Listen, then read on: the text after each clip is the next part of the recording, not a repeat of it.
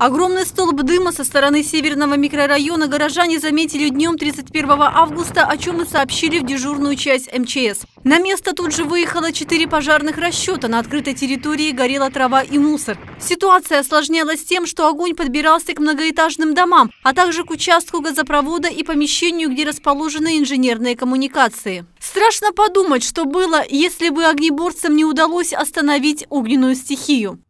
Чем чревато э, данное возгорание? Ну, во-первых, прежде всего, по сухой траве происходит распространение пожара на большую площадь.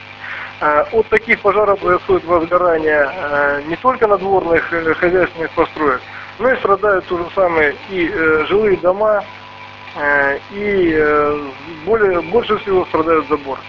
Жители города неоднократно предупреждали о том, что подобные шутки с огнем могут закончиться плачевно. Длительная засуха, долгий летний зной способствуют молниеносному возгоранию. К сожалению, люди привыкли подобным способом бороться с пожухлой травой. Но бывают случаи, когда пламя подбирается близко к хозяйственным постройкам и частным домам.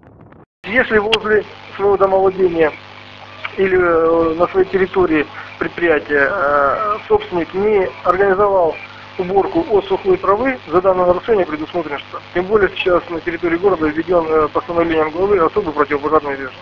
То есть размер штрафа увеличен э, в два раза. На юридических лиц до 500 рублей. Неосторожное обращение с огнем, баловство и намеренный поджог могут закончиться довольно печально. Необходимо помнить об этом, а также о той ответственности, которая грозит за подобные нарушения. Лариса Юровская, Евгений Холманский, служба информации телеканала РЕН-ТВ «Армавир».